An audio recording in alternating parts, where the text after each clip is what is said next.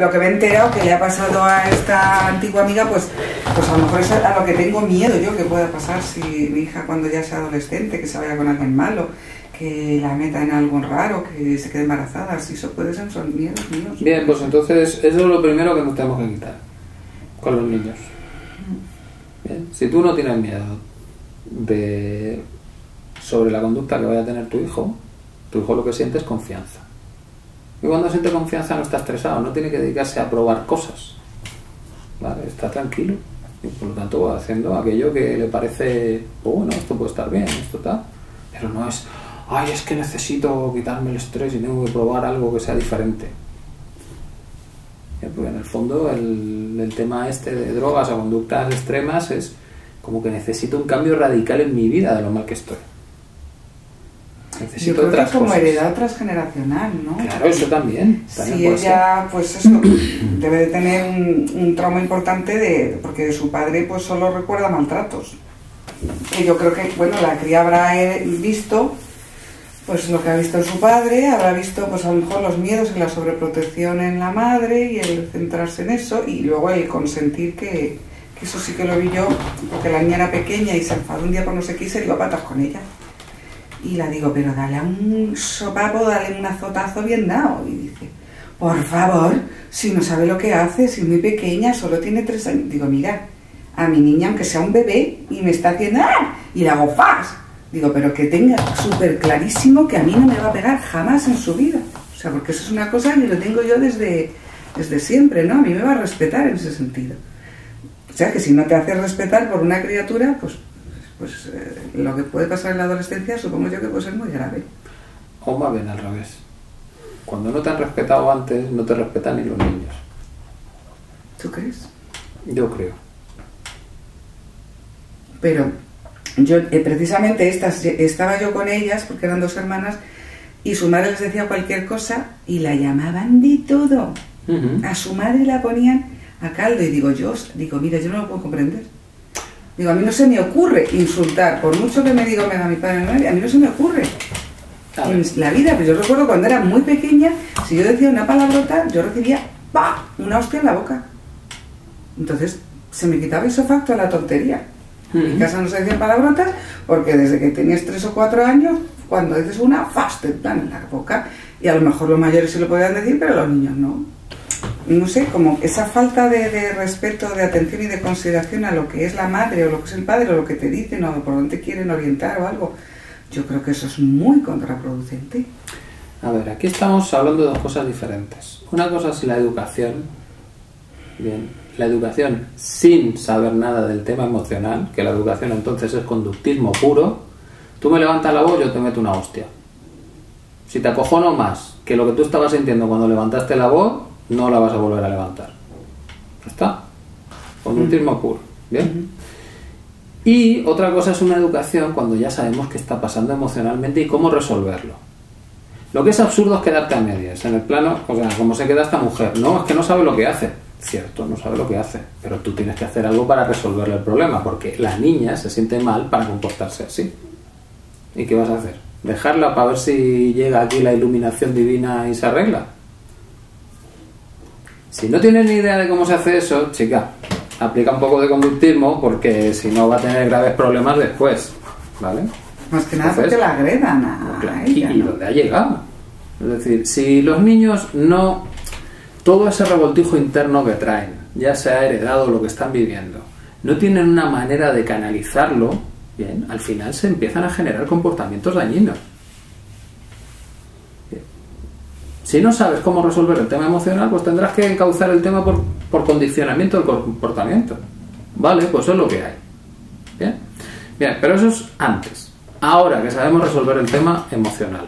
Bien, si mi hijo me llama gilipollas, no sé qué, no sé cuánto, bien, lo primero que tengo que ver yo es cuándo me perdieron a mí el respeto.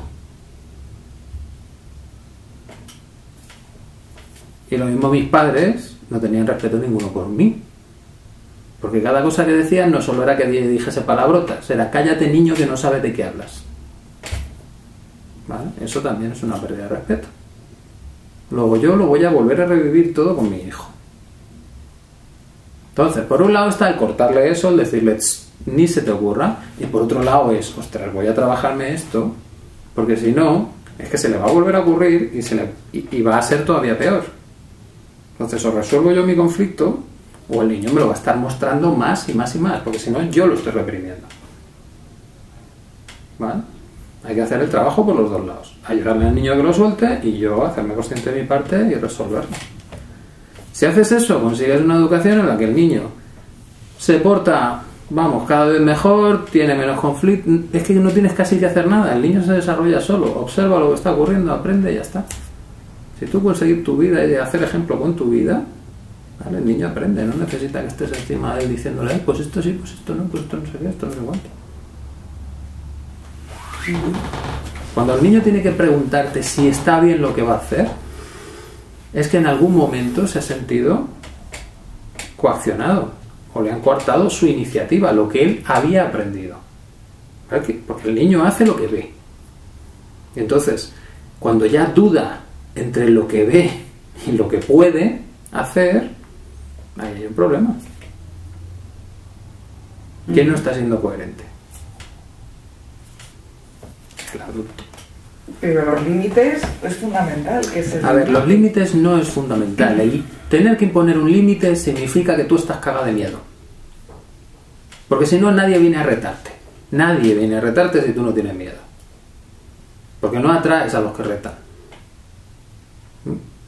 Entonces, Pero prácticamente todos los niños están buscando hasta dónde pueden y te buscan los límites Claro. y te y, y, siempre prueban a ver hasta dónde pueden llegar contigo. justo, y cuando hablas con las madres, les preguntas, bueno, ¿qué tal? ¿Te sientes buena madre o estás cagada?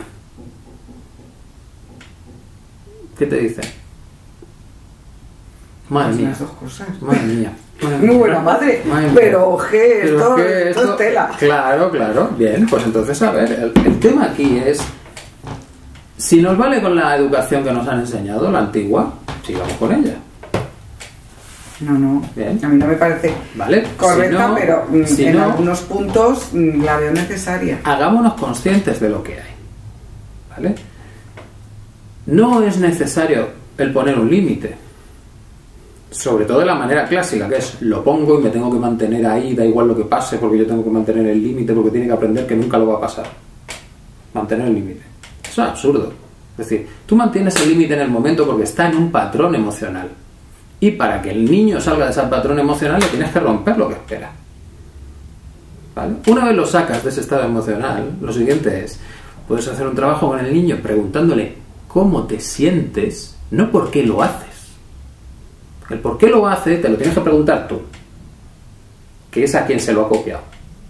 ¿Vale? Al niño le preguntas qué sientes, vamos a relajarnos. Ya está. Y con eso el niño lo suelta, se queda tranquilo y es un niño. Y la siguiente parte soy yo. ¿Por qué me reta? ¿Quién me reta a mí en mi vida? ¿Quién me está cuestionando continuamente en mi vida? ¿Quién me llama gilipollas a mí en mi vida?